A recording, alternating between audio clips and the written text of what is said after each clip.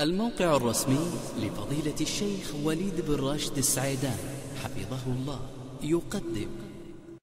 السلام عليكم ورحمة الله وبركاته. يقول السائل أحسن الله إليك. هل ما يدفعه الإنسان للمتسول وللعمال يعتبر زكاة أم صدقة؟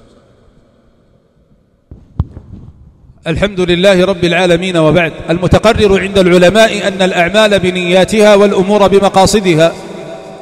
والمتقرر عند العلماء أن المأمورات لا تصح إلا بالنية والزكاة من جملة العبادات التي فرضها الله على العبد وجعل لها مصارف معينة. فلا يجوز للإنسان أن يصرفها في غير مصارفها ولا ينبغي له إخراجها إلا بسبق النية. فإذا, فإذا كنت متأكدا من أن هذا العامل يدخل في وصف الفقراء والمساكين أو هذا المتسول يدخل في وصف الفقراء والمساكين. ثم دفعت له شيئا من المال مسبوقا بنية الزكاة فإنها تعتبر من الزكاة. لأنك دفعت مالا لفقير بنية, بنية, بنية تزكية مالك.